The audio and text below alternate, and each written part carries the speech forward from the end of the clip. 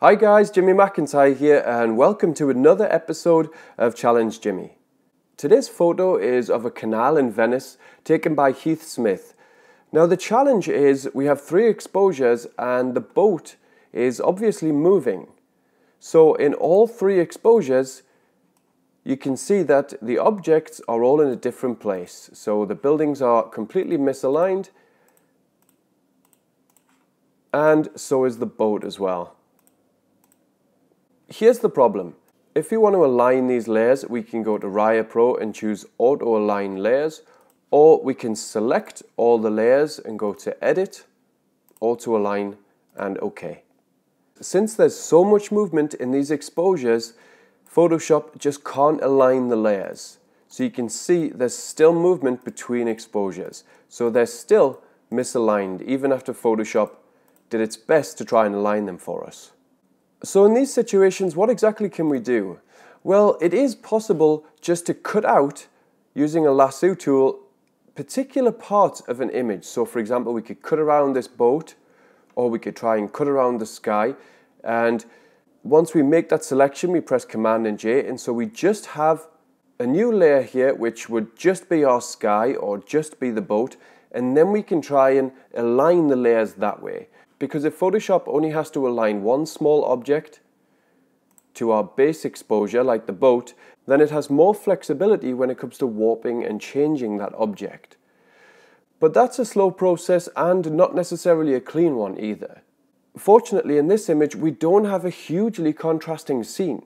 The sky is only a little bit blown out on the base exposure and the shadows are dark, but these are good quality raw files with lots of information. So instead of using three exposures, this is one of the scenes where we'll just have to make do with one. And we'll use a technique called triple processing where we really make the most out of a single raw file. So I'm going to take this base exposure into Adobe Camera Raw and show you how to do that. So here's the base exposure in Adobe Camera Raw. The first thing I'm going to do is just hold down Shift. And when we do that, you'll see at the bottom here where it says Open Image, it becomes Open Object and I'm going to click on that. And essentially what we're doing is we're making a smart object in Photoshop of this layer. And it means that if we double click on this icon here, we can open up Adobe Camera Raw again. This is important because it means we still have access to that rich raw data in Adobe Camera Raw. It's very different to going to Filter, for example, and Camera Raw Filter. Those are two different things because Adobe Camera Raw Filter doesn't have full access to the RAW file when it's not a smart object. So now we have our base exposure in Photoshop, I'm going to right click on it and choose New Smart Object via Copy. And I'm going to do it again. Now I'm going to make the top layer invisible and choose just the middle layer and double click on the icon to bring Adobe Camera Raw up. This is going to be our sky layer. So I'm just going to bring down the highlights and essentially just recover the overexposed areas in the sky. And I'm going to bring the exposure down just a little bit. When all the information is back in the sky, I can just press OK.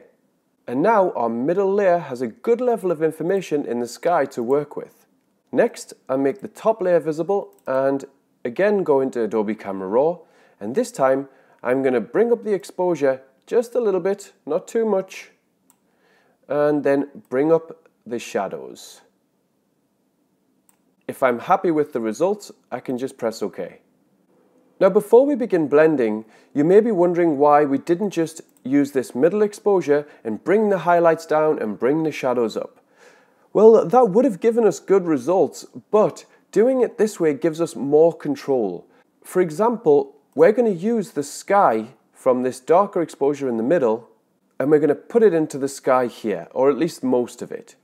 Then, if we want to apply warmth to the image and just apply it to the sky so it looks a bit more natural, we can apply it just to this layer. So we won't add unnatural warmth to any other part of the image, just to the clouds, which is where the warmth should be. So we're essentially giving ourselves a lot more control.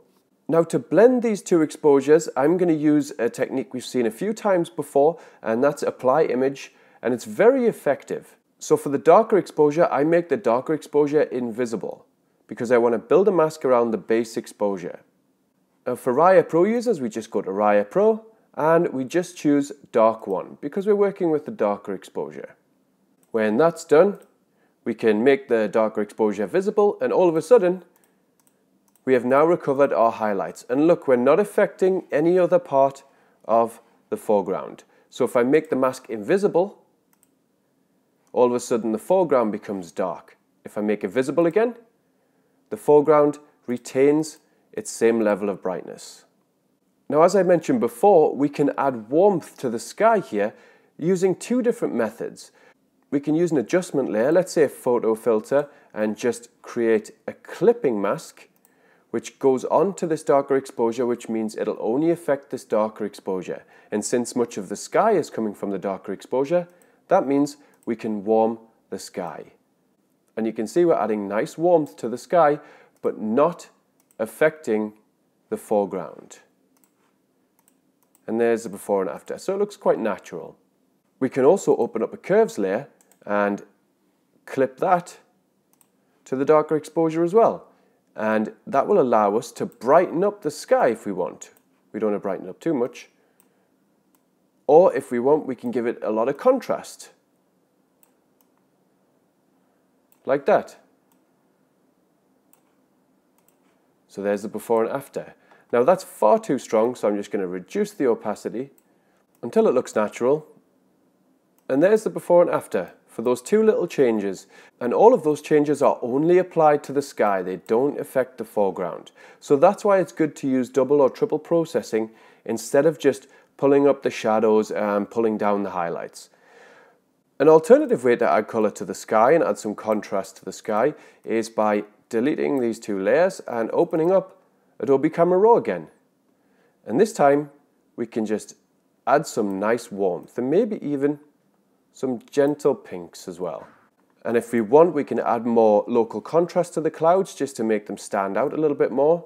And we do that with just a little clarity kick and press OK. And now our sky has more warmth and local contrast. There's the before and after. Now I still think it's a little bit too dark, so I'm going to create a clipping mask just as before with a curves layer. And I'm just going to bring the sky up just a little bit. But we don't want to affect the highlights too much. There we go. Now to restore the shadows, I'm going to make this brighter exposure visible. I'm going to go to Raya Pro and choose Bright One. And now you'll see we've restored information in the shadows. And to show you what it looked like before and after, this is our original image with underexposed areas and some overexposed sky.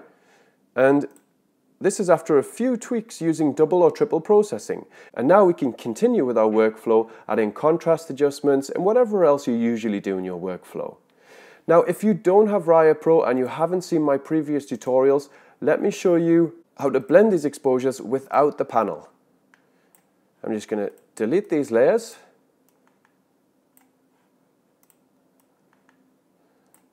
And I'm going to make the brighter exposure invisible.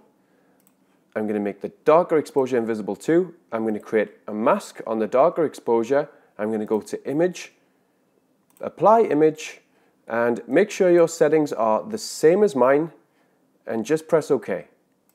Now you'll see we've created a mask on this darker exposure. So if we just make that visible, there's the before and after. So we've restored that nice sky.